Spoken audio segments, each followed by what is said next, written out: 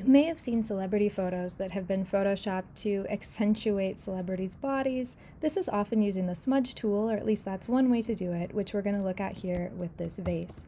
I'm going to zoom in and focus just on this vase, and we're going to make it a little curvier using our smudge tool. This is hidden within the Blur family of tools, so if you click and hold on this family of tools, you can see additional options, including smudge. I'm going to change the size of my smudge tool up in the top menu to make it fit the size of my image here. And when I have roughly the same size as the curve I want to adjust, I'm going to click on my photo and hold, and I can drag that inward.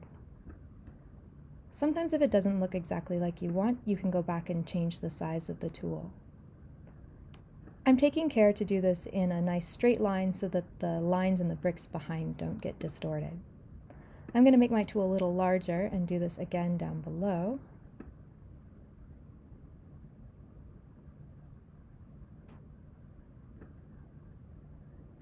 It'll be a little trickier to make this look natural with the handle, but we can try it.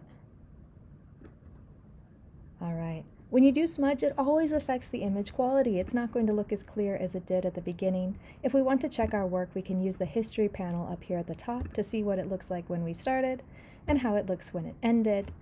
This is a tool that's notorious because it is somewhat easy to spot if you know what to look for, but otherwise can rapidly change the shape of any items in your photo.